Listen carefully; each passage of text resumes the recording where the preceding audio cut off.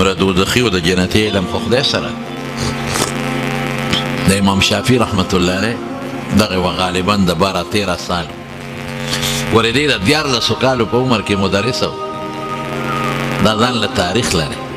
درس به کاو او نابالغ دی درس کوي او د حدیث او د فقه درس کوي دا سي مولا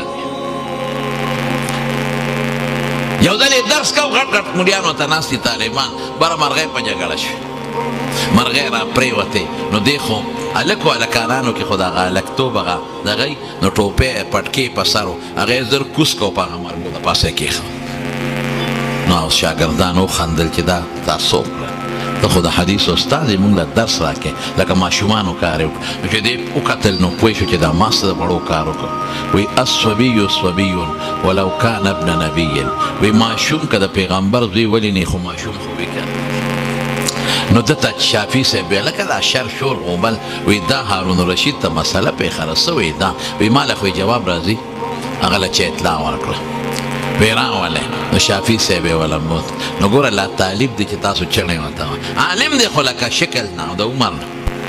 وی وای بچی د دې مسلې حل د سره د وی او امیر المؤمنین وی وای وی نه داسې خو نه کیږي ته په تخناسته وزارت اعلان دی ولاړ دا خو د علم بیا ادبي ده ته به راکوشي لاندې زه به تخت ته وخېږم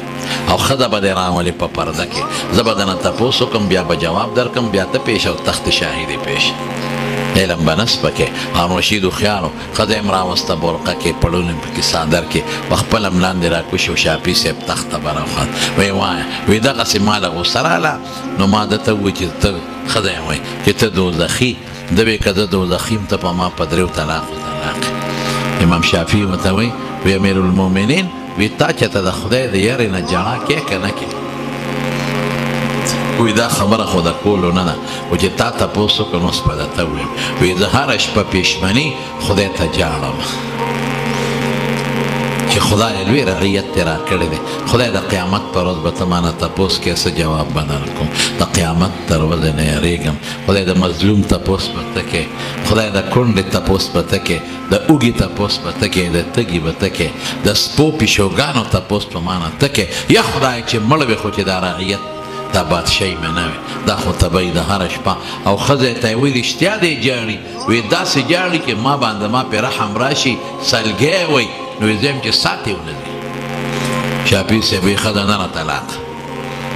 هغه ځای نه په مول علما رو دانګل وی تا دا غسو یو تسوي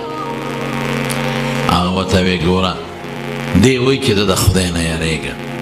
د قیامت تر ورځې دا درې دونه او الله قران شریف کې فرمایي ولمن خاف مقام ربه جنتا رستو مستقبل نه حالي خبره دی وخیره کې یاره پرته را به دی جنتی دی چې د چا په لکه د خدای یاره او د خو کې ته دوزخی نو ترې په ما طلاق بس دنه طلاق د مون مکلف په اسباب یو دنه په حقیقت نه یو مکلف دا یاره چې دلته کنه باس په خدای چې کم سپې مالک ویني دا غنه یریږي نو غپ نه کوي او چې پردې سړی وي دا غنه نه یریږي نو غپار یې جوړ کړی کم انسان دا چې نن څومره کرپشنونه خلکو شروع کړي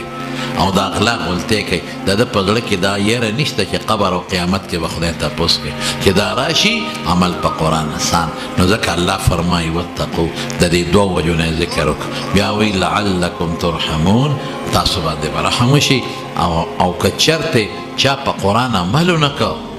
نو د رحم مقابله کې بیا د خدای قهر دی بیا به قهر منل شي شکر الحمدلله مولانا حسین احمد صاحب محمودي حفظه الله داسې ښکلې مدرسه جوړه او دا د موږ د ګران قدر محترم مفتی صاحب مفتی محمد ندیم محمودي صاحب حفظه الله وزیدت مکارمهم د هغې شاګردانو کې دی دا غره هم خدای ډېر لوی کار واغېست او کوي د هغه د شاګردانو دوستانو نه هم خدای په یو خدمت کې ډېر ښه کار واغېسته نو دا څو خبرې مې درته عرض کړلې